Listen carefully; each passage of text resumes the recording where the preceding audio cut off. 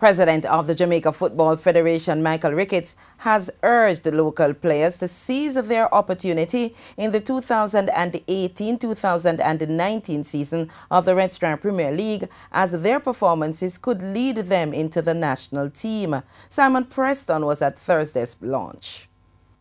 Since the end of the 2018 FIFA World Cup qualifiers, head coach Theodore Whitmore has been given credit for giving players who ply their trade in the Red Stripe Premier League playing time at the international level. President of the Jamaica Football Federation Mike Ricketts, who was speaking at the launch of the league for this season, says local players must use this chance to get themselves into the national colours. These players now can play to impress the selectors. And gone are the days when we had this influx of overseas based players, whom I have always said sometimes not better than those locals we have. So it's an opportunity for the locals to really impress our coaching staff. Ricketts has also expressed optimism ahead of the new season. We are really looking forward to the start on Sunday. Like I said last year, this time we're having issues, but this year it's, it's all systems go and Sunday we will definitely be starting the Premiership. Cavalier SC midfielder Siobhan Marsh has set high expectations for himself this season. For me personally, I, I target 25 goals this season, knowing the, knowing the fact short last season I was injured for a lot of parts of the stage and I finished with 10 goals and stuff and I feel much stronger and much better. So I want to finish with 25 goals with my club and grab a couple goals on the international level.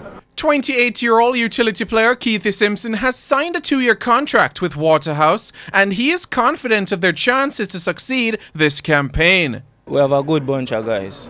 I can attest to that, you know, and the coach of us working really hard and the players are committed, so I'm very happy with the players, yeah.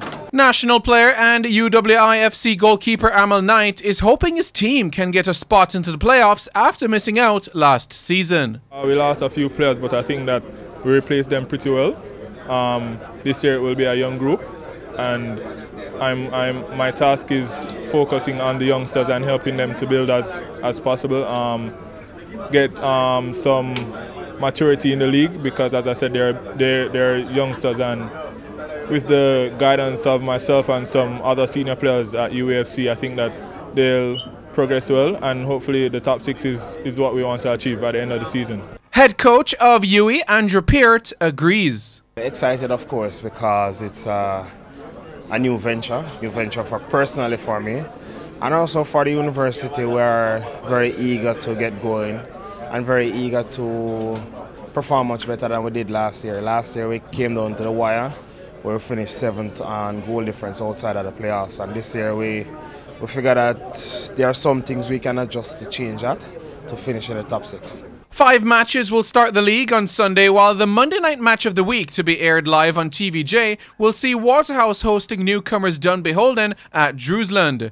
Reporting for TVJ Sports, I'm Simon Preston.